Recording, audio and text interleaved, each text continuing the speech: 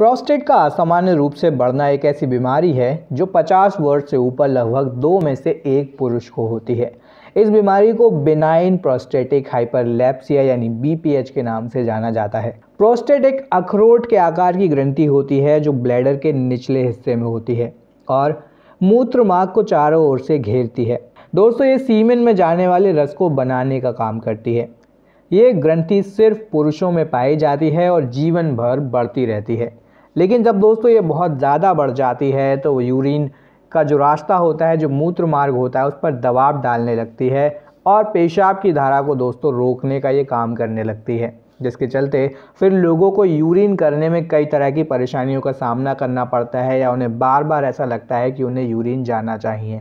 दोस्तों प्रोस्टेट के बढ़ने को अगर शुरुआती दौर में पहचान लिया जाए तो इसको दवाइयों के माध्यम से रोका जा सकता है।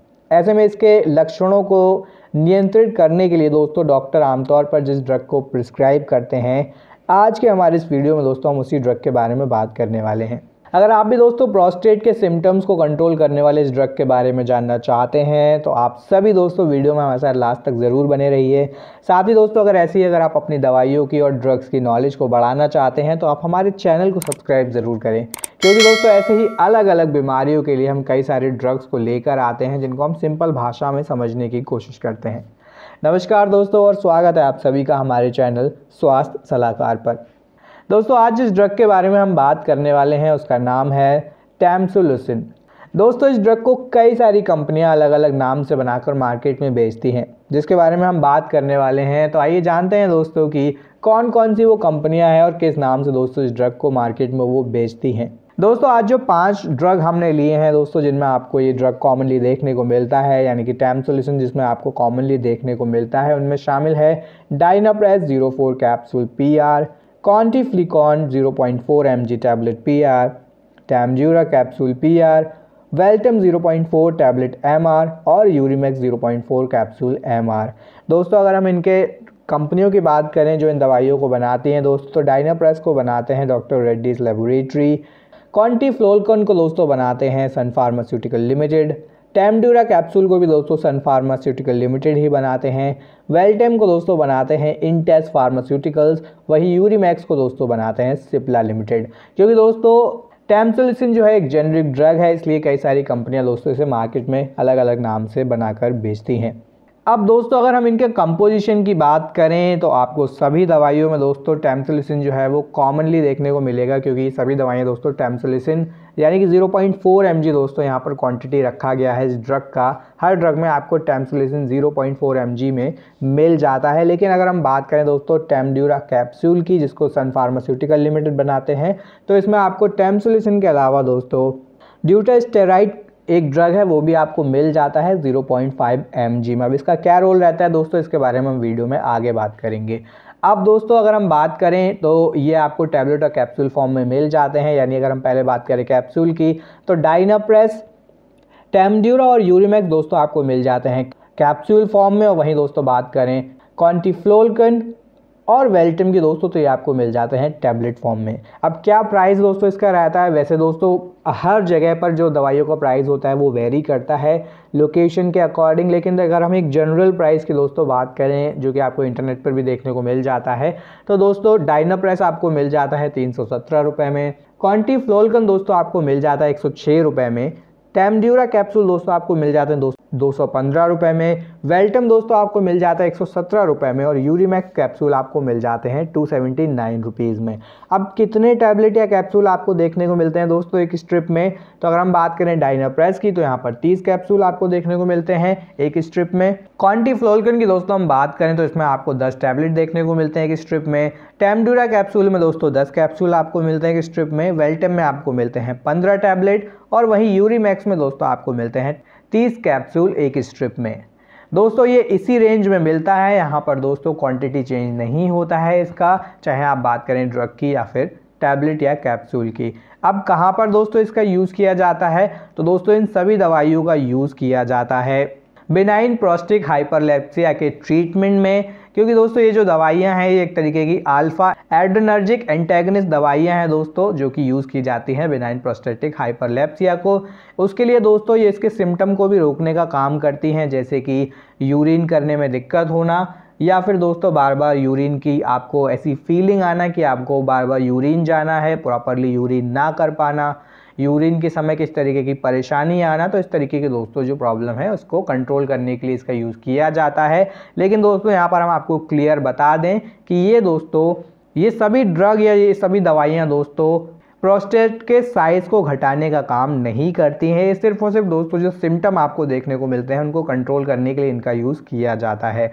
अब क्या बेनिफिट होते हैं दोस्तों? तो ऑलरेडी हमने जैसा बताया प्रोस्ट बिनाइन प्रोस्टिक हाइपरलेप्सिया में दोस्तों इन सभी ड्रग्स का या इन सभी दवाइयों का यूज़ किया जाता है। अब दोस्तों, जब भी डॉक्टर आपको इन दवाइयों को प्रिस्क्राइब करते हैं तो इनके कुछ आपको साइड इफ़ेक्ट भी देखने को मिल सकते हैं।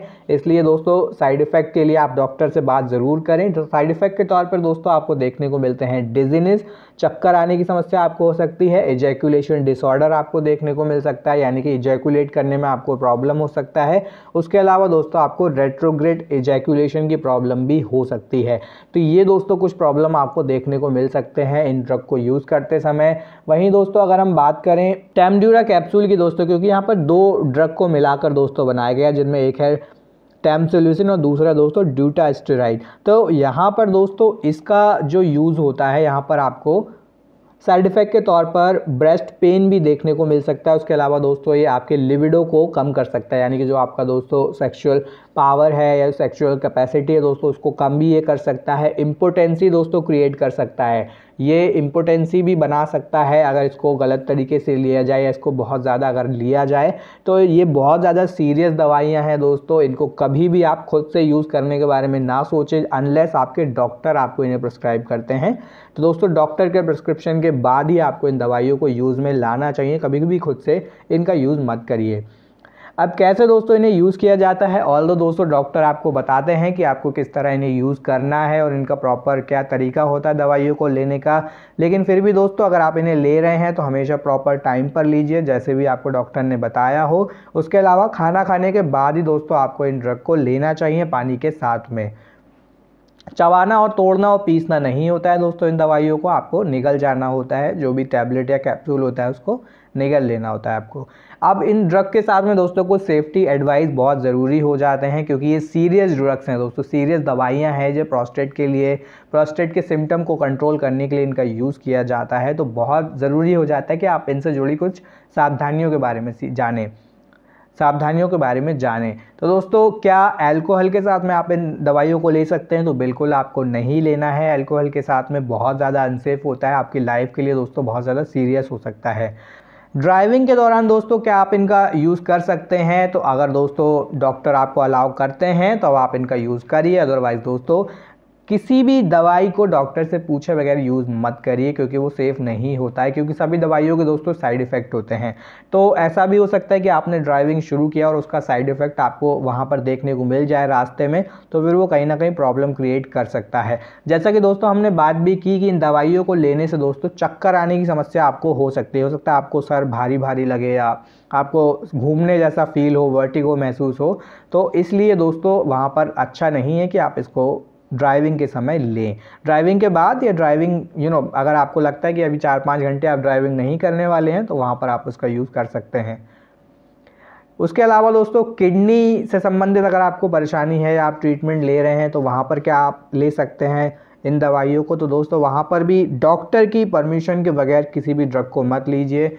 चाहे किडनी से संबंधित कोई परेशानी हो या फिर दोस्तों आपको लिवर से संबंधित कोई परेशानी हो, अगर किसी भी तरीके का आप ऑलरेडी ट्रीटमेंट ले रहे हैं तो डॉक्टर से एडवाइस लेकर ही किसी दूसरे ट्रीटमेंट को लेना आप शुरू करिए। अगर आपने बता भी दिया है उनको तो एक बार उनसे कंसल्ट कर लीजिए क्या मैं इस ड्रग को ले सकता हूँ इन दवाइयों के साथ में। अगर वो आपको अलाउ करते हैं, तभी उनका यूज़ करिए, खुद से यूज़ उनका मत करिए। अब अगर ऑलरेडी आप कुछ ड्रग्स ले रहे हैं और बाद में दोस्तों आपको डॉक्टर ने इन ड्रग्स को भी प्रिस्क्राइब कर दिया है, जिनके बारे में हम बात कर रहे हैं तो दोस्तों कुछ ऐसे भी ड्रग्स होते हैं जिनके साथ में आपको इन दवाइयों को या इस ड्रग को नहीं लेना चाहिए। तो जैसे अगर हम कुछ ड्रग्स की दोस्तों बात करें तो इनमें शामिल है एटाजेनोविर दोस्तों आपको देखने को मिलता है, उसके अलावा आपको देखने को मिलता है फ्लूकोनाजोल आपको देखने को मिलता है एक ड्रग के तौर पर, इंडिनेविर देखने को मिलता है, उसके अलावा दोस्तों आपको देखने को मिलता है आई ट्रक कैनाजोल तो ये कुछ ड्रग हैं दोस्तों जिनके साथ में आपको इस ड्रग को बिल्कुल भी नहीं लेना चाहिए, स्पेशली अगर हम बात करें टैमसिल्यूसिन की। तो टैमसिल्यूसिन के साथ में दोस्तों आपको इन ड्रग्स को नहीं लेना चाहिए। अगर आप ले रहे हैं तो उसको तुरंत बंद कर दीजिए क्योंकि लाइफ के लिए बहुत ज़्यादा सीरियस हो सकता है दोस्तों, अगर ये दोनों ड्रग्स एक साथ आपके शरीर में जाते हैं। तो ये कुछ दोस्तों आपको प्रिकॉशन लेने चाहिए, अगर आप इस ड्रग को ऑलरेडी यूज़ कर रहे हैं या डॉक्टर ने आपको प्रिस्क्राइब किया है। वन मोर टाइम कभी भी डॉक्टर के एडवाइस के बिना किसी भी दवाई को यूज़ करने से बचें, क्योंकि हर दवाई के अपने साइड इफ़ेक्ट होते हैं और कितने डोज की आपको रिक्वायरमेंट है, ये भी दोस्तों डॉक्टर को अच्छे से पता होता है तो इसलिए डॉक्टर के एडवाइस के बाद ही दवाइयों का यूज़ आपको करना चाहिए। तो दोस्तों, ये था हमारा वीडियो जिसमें हमने बात की एक ड्रग के बारे में दोस्तों, जिसका नाम है टैमसोलिसन दोस्तों, जिसका यूज़ किया जाता है प्रोस्टेट के सिम्टम्स को कंट्रोल करने के लिए। आशा करते हैं दोस्तों वीडियो आपको इन्फॉर्मेटिव लगा होगा, पसंद आया होगा। वीडियो पसंद आया हो तो आप लाइक और शेयर कर सकते हैं वीडियो को। ऐसे ही और भी वीडियोज़ आप आगे भी देखना चाहते हैं तो आप हमारे चैनल को सब्सक्राइब कर सकते हैं, जिससे कि आगे भी दोस्तों आपको ऐसी ड्रग्स और दवाइयों की नॉलेज मिलती रहे और आप अपने आप को अपग्रेड करते रहें मेडिसिन के बारे में। वीडियो में दोस्तों आप सभी लास्ट तक हमारे साथ जुड़े रहे, उसके लिए आप सभी का धन्यवाद।